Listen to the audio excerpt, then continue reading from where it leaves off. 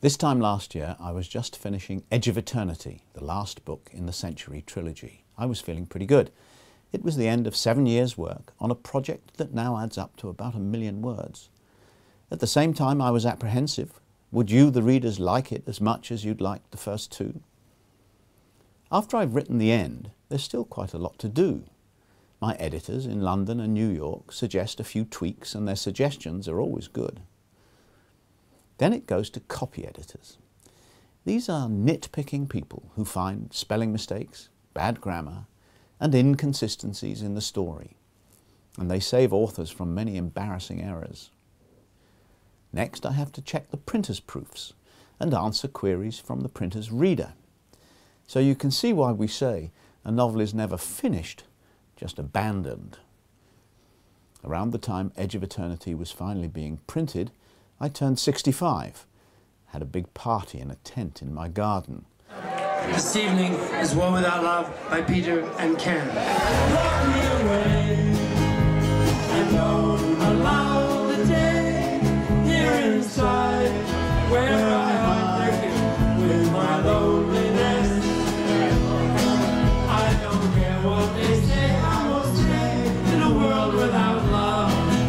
German publishers, Lübbe Verlag, gave me as a gift a section of the Berlin Wall, the symbol of the Cold War that is the subject of Edge of Eternity.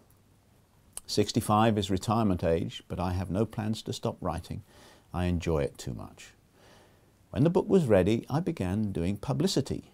I have to make sure that you know I have a new one out. This year I started in Sao Paulo, Brazil in August, and the book tour finished in Milan in December. I've especially enjoyed meeting you in bookshops and libraries, and I get a thrill every time a reader thanks me for the books that he or she enjoyed. And it seems you enjoyed the new one. Thank you for making a number one bestseller all over the world.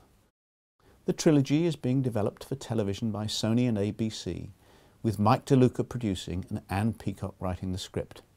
As soon as I get details of casting, I'll put them on my website.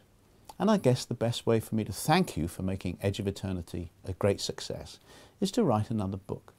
So I plan to spend 2015 writing the first draft of a new novel.